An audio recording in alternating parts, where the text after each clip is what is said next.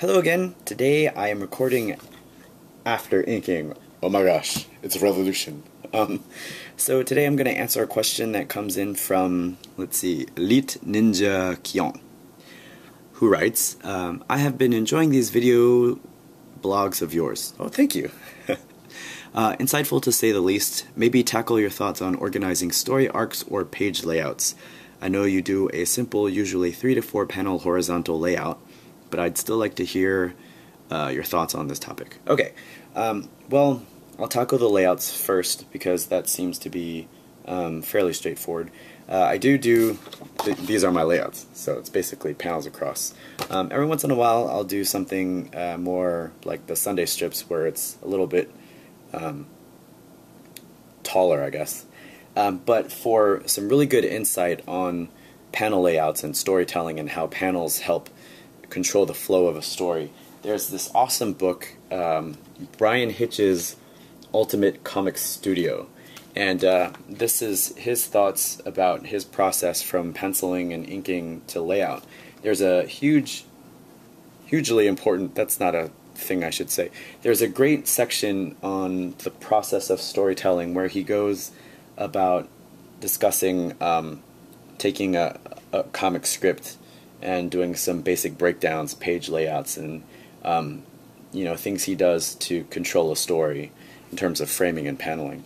Um, so I, I, highly recommend this book. Uh, I'll send a I'll put a link in the show notes for uh, Amazon link. You can buy it. If I was smart, I would do one of those affiliate things, but not quite smart yet. Uh, but yeah, this is uh, highly recommended. Also, Bryan Hitch is a fucking fantastic illustrator. And uh, if you want to see more of his stuff, like he has a section on inking, which I found was uh, quite insightful for for myself. So yes, go out and buy this book. Um, personally, I like um, simple panel layouts where uh, it's it's more cinematic. You have a wider frame, um, so you can fit more stuff in there, like backgrounds and things like that. So whenever I do draw traditional comic pages. I tend to use a lot of horizontal frames, a lot of widescreen stuff. Um, I don't know. Uh, I did a guest comic for John Allison, uh, Scary Go Round, who's doing Bad Machinery right now. Um, I love that comic, um, and I was fortunate enough to be able to do a guest comic for him. But uh, my my panels were nice, big, widescreen movie type panels. Um, it's kind of weird because in in a big page, like if you break it up with a lot of wide panels, sometimes you don't get to show off all your your good superhero poses and stuff. So it really forces you to concentrate on the storytelling aspects of that frame.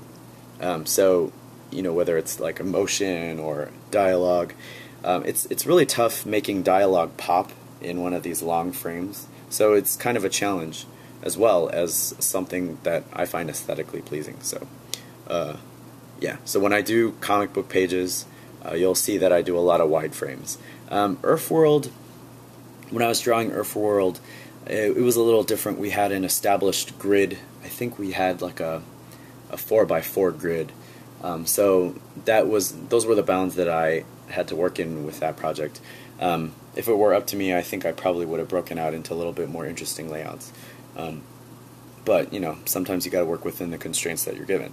So um, yeah on to the next part of your question which was about story arcs. Now um, yellow peril doesn't have an end in sight. So i'm kind of very free flowing in terms of planning story arcs. Like um, i have in mind a couple of notes that i want to hit like some major notes. Like i knew i wanted bodhi's relationship with Julie to be fairly um, fairly cutesy, but you know I wanted that one to to work out fairly quickly. So um, the first book, uh, you get to see them finally get together, um, and and I had I had some specific notes that I wanted to hit. Like I knew I wanted Julie to take her lunch break and eat lunch with Bodhi to kind of break the ice. I wanted her to her to break the ice, and so um, as when it comes down to, to writing every week, um, I usually try to write strips in a in a group of three because I update Monday, Wednesday, and Friday. It doesn't always work out that way, but I try to make um, those three strips have like a an arc to them. Maybe not always a, a beginning, middle, and end of a sequence, but um, maybe the start of an idea on a Monday, and maybe a, a culmination of that idea on a Friday, or something related to that early idea on a Monday, which doesn't really work out when it comes to put these in a book because uh, on the book page it's two comics per page, so it kind of breaks up that three uh, three comic arc schedule thingy. Um, but you know, it works for the updates, and it, it seems to be pretty good. It seems to be working out pretty well. Um, I, I know other future notes that I want to hit. There there are certain scenes that I have in mind that I want to write. Um, it's just a matter of getting to those naturally, and so that's what I kind of try to keep in mind when I'm writing the comic every week. Is um, you know maybe I have a really good idea for a scene between Ali and Kane, but it just won't work here, so I'll save that for later. Or maybe something that I'm writing now inspires another scene that I can add in like four strips down the line or something like that. So the way I write Yellow Peril is very unstructured, um, very free flowing, um, and it just kind of whatever I fit in. I, I want to try to keep the, the thing moving forward, but you know, I think I've I've heard of other people who do like long form comics who have the end in mind, but they don't have like the specific notes and how to get there. So they're they're writing towards an end, but they go about it and uh, they kind of take their time to get there. And uh, Yellow Peril doesn't have an end in mind, so I'm just kind of taking my time and playing with these characters and throwing situations up at them and seeing how they'll react. So um, those are kind of the considerations that I take into account when I'm writing for this strip.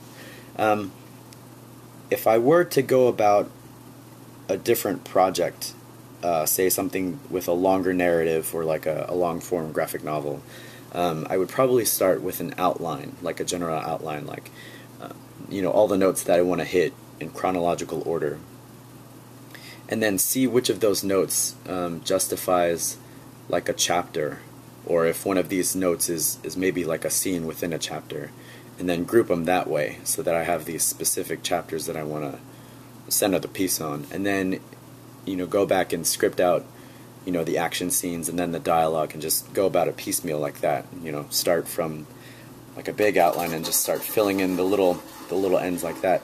Um, or maybe not. I, I don't know. It, I haven't actually sat down to write a big graphic novel project like that but I think um, to start I would start with the skeleton to give me something to, to write towards um, so uh, yeah so those are some ideas on uh, at least how I approach writing to the daily strip or not the daily strip, the uh, the weekly strip. Um, so uh, if you guys have any thoughts on uh, your writing habits or on how you write for serial fiction or or comics or pages and things like that, uh, hit me up with a comment, send me a note, send me an email, send me a tweet, all that kind of good stuff, and uh, I'd love to hear from you. Um, thanks for watching again, and I guess I'll check you next time. Bye.